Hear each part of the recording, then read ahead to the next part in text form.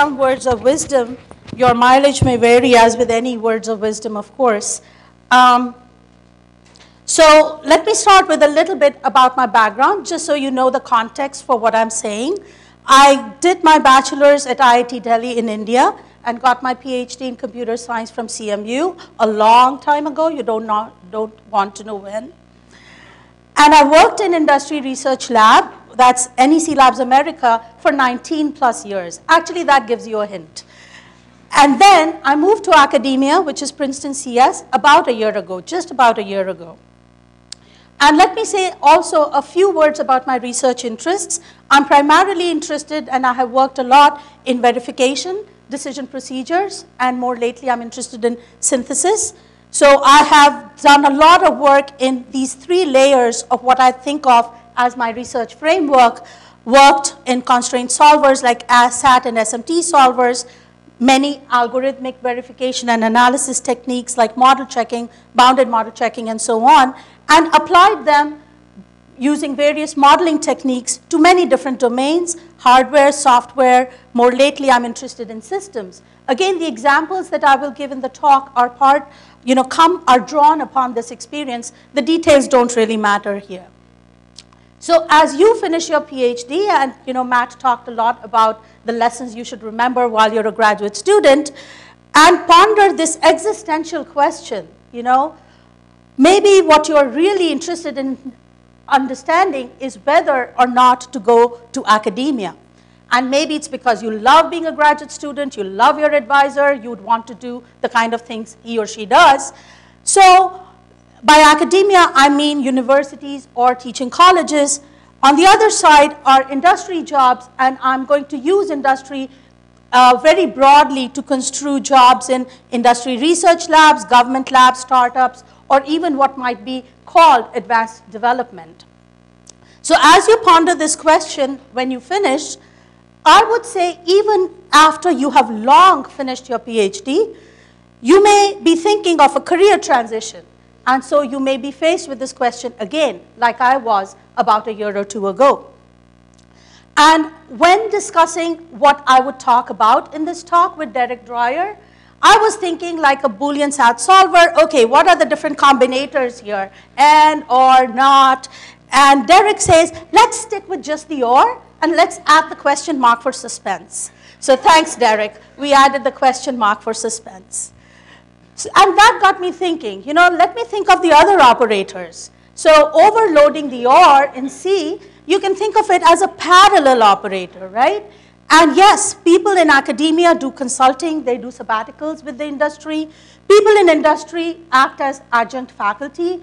They like to teach, so they seek out these opportunities. I think what's really important is that the real world context that comes from industry informs both research and education. And that's the basis for many successful collaborations. You could think of other operators like the sequencing operator. So there's a lot of instances of people starting with academia and then moving to industry. These transitions are often based on personal preferences and there's also, of course, the appeal of designing and contributing to large systems at scale. The other transition, going from industry to academia, is somewhat less common, and I would say happens more because of changes happening in the industry.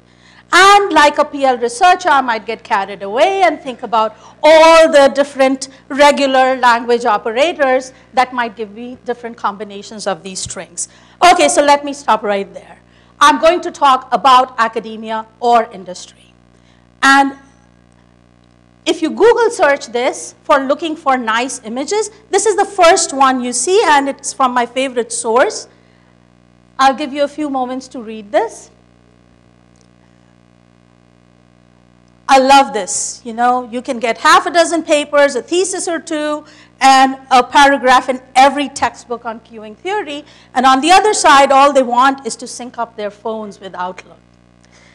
I would say there is some truth to this. However, more seriously, at a very coarse level of abstraction, let's think of an academic as a process A and an industry researcher as a process I. So what does an academic do? forever until eternity, Each day they're going to do research, they're going to do some teaching, and every so often, because we are using a lot of abstraction, they will raise funds, they will do some mentoring, and they will do some service. And on the industry side too, forever you will do research. Every so often you will be asked to raise funds, do mentoring, and do some service. And the one difference you see immediately is that there's no teaching on this side. So teaching is indeed one big difference, and don't let anybody tell you otherwise. It takes a lot of time and a lot of energy. You've got to love it to do it. And it's not a bug, it's a feature. So if you like doing it, that's what's the side you should be on. Or find ways to do it even if you're on this side. So let's get that out of the way. Let's look at some of the other stuff. You know, raising funds. Supposedly, people talk about it as if it's a big burden in academia. But I'll tell you, most academics I ta have talked with love the opportunity of making fresh and exciting restarts that they get. You can abandon your previous project after three years. You know, who wants to do more of it? Every three years, you're going to start a new project and do that in a pipeline. Very exciting. That's when you do a lot of your good thinking. Industry research also have to raise sort of funds in a different way. They have to persuade higher ups. Because if you want to work on a project, you want to work in some area, you can't really say, oh, I do it because I want to. You have to give some justification for your existence and do some persuasion. Of course, there's less internal competition, but deliverables can sometimes go way beyond just publications and building research prototypes. You know, maybe you'll be asked to do technology transfer or show it working on real large challenging examples. And that's a good thing. Let's shift to mentoring. In academia, of course, student mentoring is super important, and that's what we are all here for in some sense. Industry, mentoring junior team members is equally important if you want to build a successful team, if you want to have successful projects. Serving, internal service that goes towards building an organization, doing recruiting, helping people to your, you know, believe in your cause are all valued and essential. External service, and by this I mean service to the research community in terms of reviewing, in terms of conference organizing, serving on PCs, editorships, and so on, is definitely a core part of academia, but the priority varies among different industries and maybe even over time. So we've, you know, at some level, the aspects of raising funds, training and mentoring, and service, I believe are somewhat similar aspects of a job, although the emphasis can vary. So where are the differences? In my experience, the differences are in the autonomy that you have. Academia does allow more autonomy and control of, for an individual, this is operational day to day as well as strategy and planning year to year. Something that you often hear about, academic freedom, don't believe that it's total freedom. If you want to do funded research, academic freedom is constrained by the funding agencies. Of course, you may want to do unfunded research or not do research at all. That's also freedom of some kind, but you know, that's what academic freedom comes with. In terms of collaborations, impressionable graduate students on the academia side versus trained PhDs and professionals. And I have to tell you, the trained PhD professionals are a joy, but so are the students. And from my own experience, there's joy in both kinds of collaborations. And with effort, if you're interested, you can build both. In terms of resources, yes, they are much easier to marshal in industry but they come with some strings attached. If you're going to get a lot of resources, surely someone is going to have higher expectations of you. And that also is fine. You know, you're trying, it's good to have higher expectations, good to aim high and get the resources. I think the tricky situation is when the resources are tight, but the expectations are high. So this is something you should watch out for. Ask a lot of questions when you're considering specific companies or specific projects, are the resources tight and the expectations high? my advice, take it with caution. So, you know, getting back to our process analogy, I feel like the differences really are that the system environment is different. You know, autonomy, resources, and uh, collaborations. At an individual process, I might even say they are very similar and uh, some variations, but it's really the system environment that is different. So I haven't yet talked about the main part, which is what really moves us all, which drives us, which is research. Good research is the same in both places. The driver for good research is impact. And we've already heard this several times since the morning, that go after research with impact. The good news is that there's many ways to make research impact. You can do it with a well-cited publication. You can do it by contributing to new foundations or new applications. You can also do it by showing applications that are old but can be done at scale. And you need similar skills, I would say, for success, whether you're an academic or you're in industry, you need deep expertise and you need great communication skills. Because nobody's going to know what you know unless you take the effort to explain it, to write it, to disseminate it. There's some emphasis between foundations and applications that can vary. It can vary in different companies. It can also vary over time. Again, my advice is to ask, to talk with a lot of people, ask a lot of questions about where the emphasis is, whether you're contributing to foundations or to applications. And in some sense, the real world context, I believe, is becoming increasingly important for impact. And from my own experience, I would say that successful technology transfers are immensely satisfying. And in the area of verification, you may have all heard about the static driver verification project at MSR. And we had a similar project with Varvel program verification at NEC that I was involved in for a long time. This is just a very, very brief uh, summary of what we did as part of this project.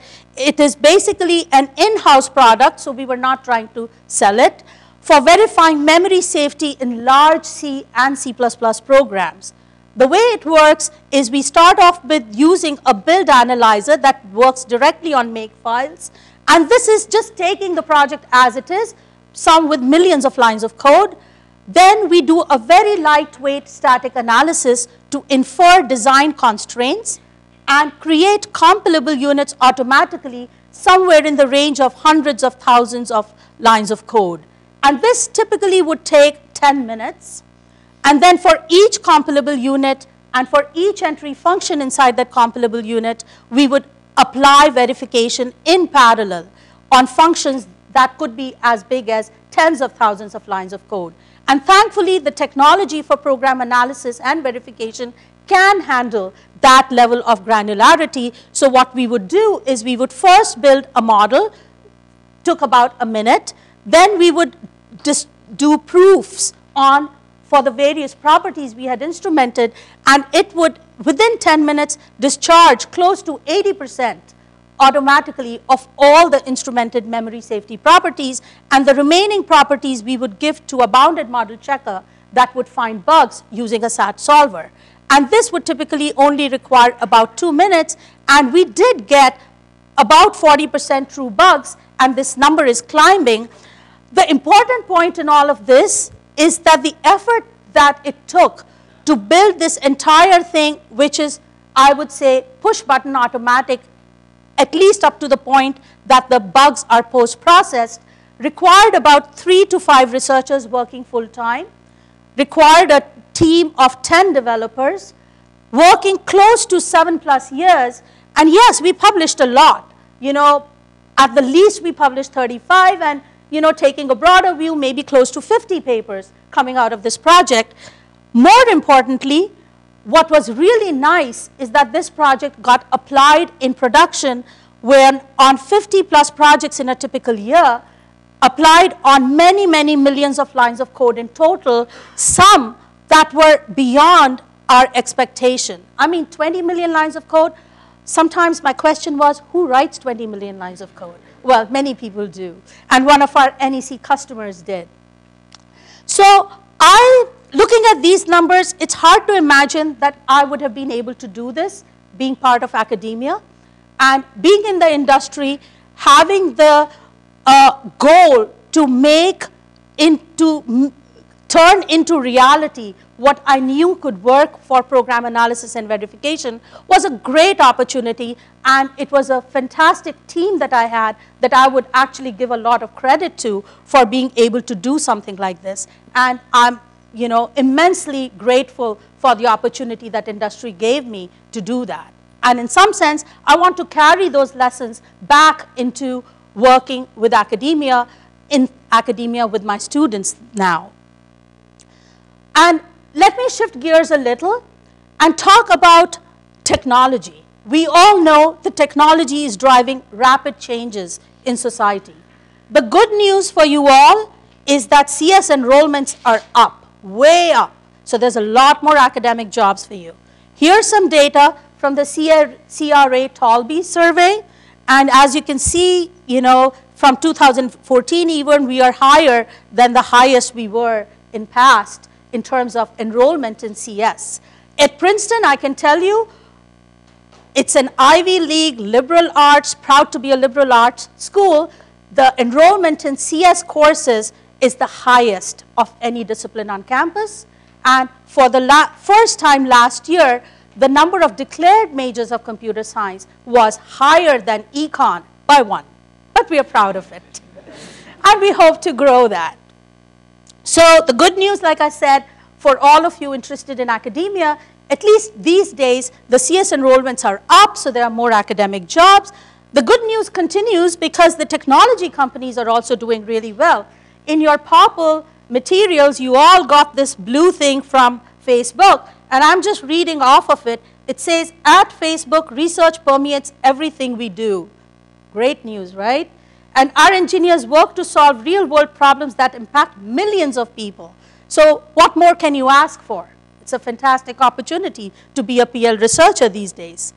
So like I said, at Amazon, Facebook, Google, Samsung, they all have many new PL related groups in addition to the established groups that you all may already know at Microsoft and at IBM and other companies. I would say that the line between R&D is getting thinner. You know, that's part of the changing technology landscape today. There may be no research labs at Facebook. Actually, I don't know whether they have it or not. But yes, they are involved in building cutting edge know-how, in building cutting edge systems. So whether you call it development or you call it research, or advanced development, the idea of you utilizing your research skills to solve important problems, to solve difficult and challenging complex problems, those opportunities exist in a lot of places. And that's what I, and there's also a lot of lateral movement within the industry and between industry and academia. So I'm sure you all saw with some sense of sadness the closing of Microsoft research in Silicon Valley, there's movements in the other direction too. And, you know, entire groups from academia have been picked up to go work in the industry. And maybe Uber will want to buy your robotics department next. My own experience has been in my group at NEC Labs at various times. Of the nine or 10 people that we had, Five of us actually ended up in academia, including one postdoc person currently. Four of us went to different industry uh, organizations, and two went to startups. So as you can see, not just at an individual level, but even at the group level, because of the shifts in technology, because of the shifts in priority, I believe there's a lot more lateral movement today than there used to be before. One other thought to keep in mind as you ponder the question is this difference or I would say interrelationship between research and innovation. So here's my favorite quote from the inventor of the post-it notes who said that research is the transformation of money into knowledge and innovation is the transformation of knowledge into money. And yes, both of those transformations are, you know, exciting. As a grad student, hopefully this is all you're doing. Maybe on the side you might be doing this too. But my advice is whether in academia or in industry, it's useful for you to identify which transformation you are engaged in.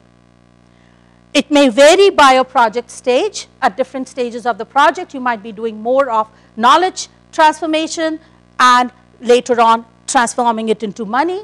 Or it might even vary based on your current assignment. For an academic, you might be doing consulting or some startup work while on leave. Or you may even be assigned to some business unit to learn more about the business processes and so on.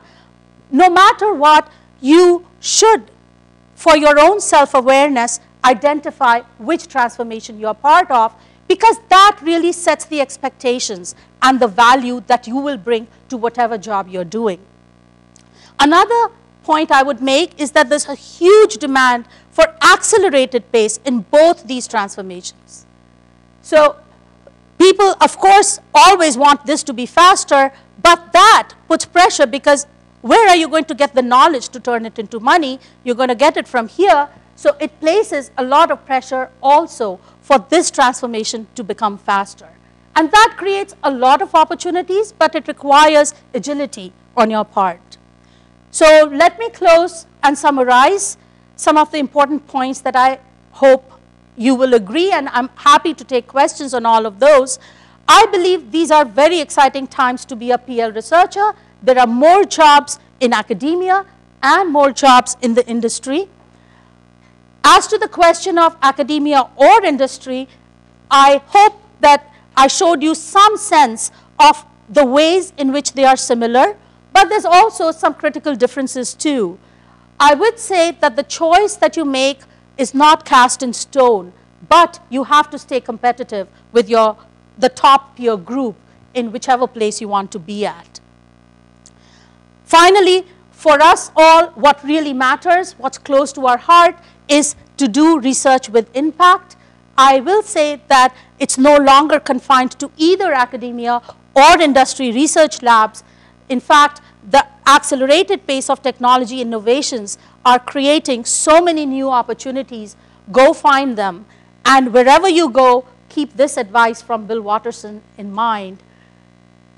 No matter how many eggs you're juggling, persistence will pay off. Thank you so much for listening.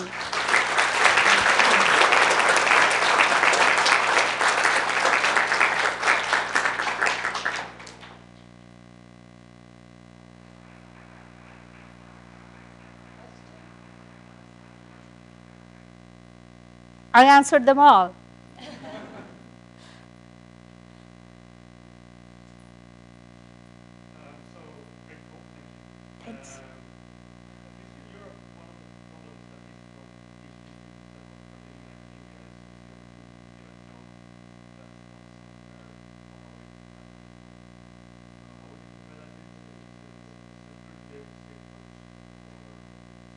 I, I think even if you didn't put the constraint of being close to family or home, okay, let me repeat the question. The question, if I understood it correctly, is when PhD students want to work in academia, another thing they might want to try and optimize is being close to family and home, and is that easier or worse than trying to find a job in industry?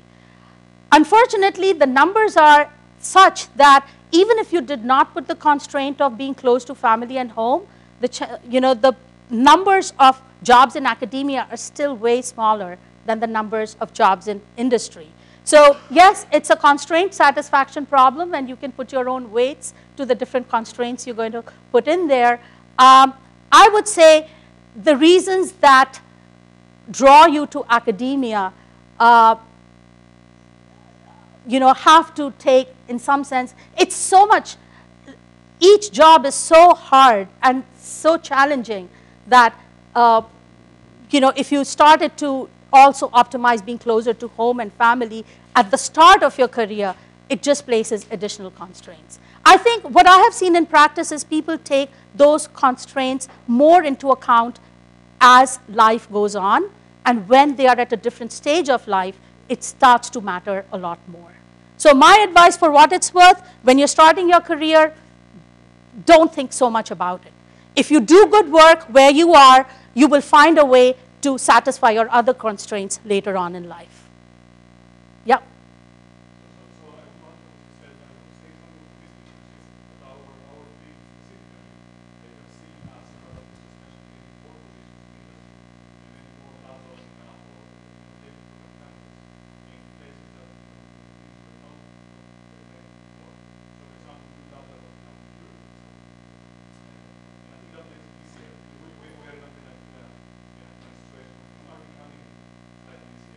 Definitely.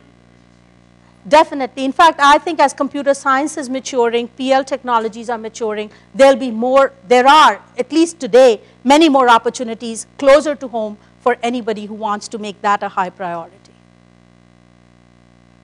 Yep.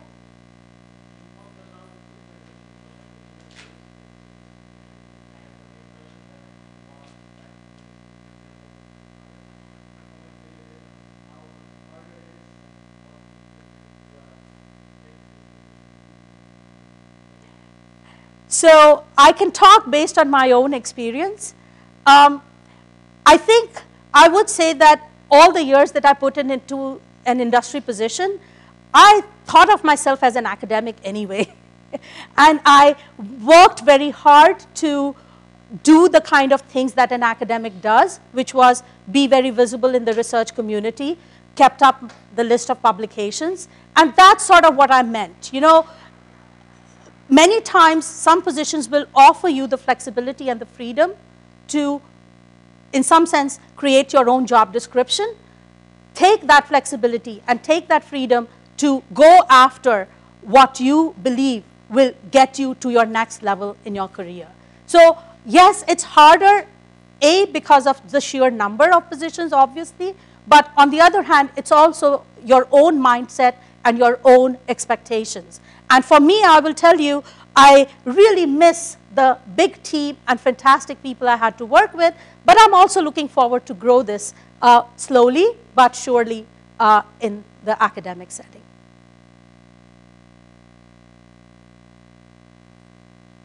Thank you.